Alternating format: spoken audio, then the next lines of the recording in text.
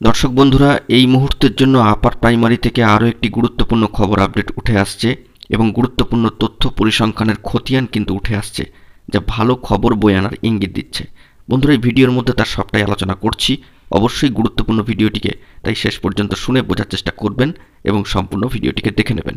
যে সমস্ত বন্ধুরা চ্যানেলটি সাবস্ক্রাইব করেননি সাবস্ক্রাইব করে নিয়ে সঙ্গে থাকবেন। সম্প্রতি মহামান্য কলকাতা হাইকোর্টের নির্দেশে সুষ্ঠুভাবেই সম্পন্ন হয়ে গিয়েছে প্রথম প্রাথমিক পর্যায়ে প্রথম দফার কাউন্সেলিং প্রক্রিয়া আপার প্রাইমারির ক্ষেত্রে এবং এখানে দেখা যাচ্ছে যে নিয়োগের কাউন্সেলিং প্রক্রিয়া ডাক পেয়েও চাকরি গ্রহণ করেননি এবং অনুপস্থিত থেকেছেন সার্বিকভাবে সেই তথ্য পরিসংখ্যানের খতিয়ানটি হচ্ছে সামাজিক গণমাধ্যম সূত্রে এক হাজার একশো জনের কাছাকাছি প্রায়।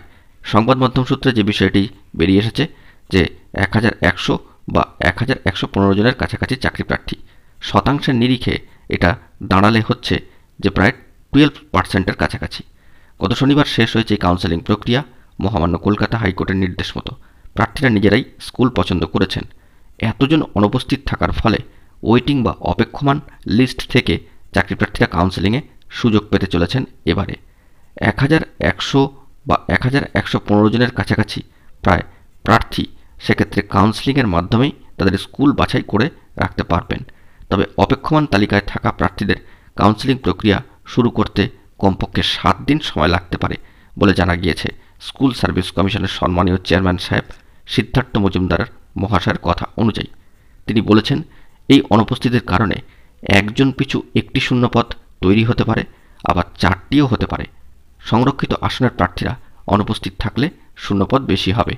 এই হিসেবগুলি সঠিকভাবে করার পরই অপেক্ষমান তালিকায় থাকা প্রার্থীদের দ্বিতীয় দফার কাউন্সেলিংয়ে শুরু হবে। এমনটাই কিন্তু সামাজিক গণমাধ্যম সূত্রে খবরে উঠে এসেছে। প্রসঙ্গত এখানে উল্লেখ্য যে দীর্ঘ আইনি জটিলতা কাটিয়ে মহামান্য আদালতের নির্দেশে ছয় নভেম্বর থেকে শুরু হয়েছিল কাউন্সেলিং প্রক্রিয়া। সব মিলিয়ে মেধা তালিকায় নাম ছিল তেরো হাজার তিনশো চৌত্রিশ জনের। শূন্যপদের সংখ্যা চোদ্দ হাজার তিনশো উনচল্লিশটি। কাউন্সেলিংয়ে ডাকা হয়েছে আট হাজার নশো জনের মতো চাকরি প্রার্থীকে।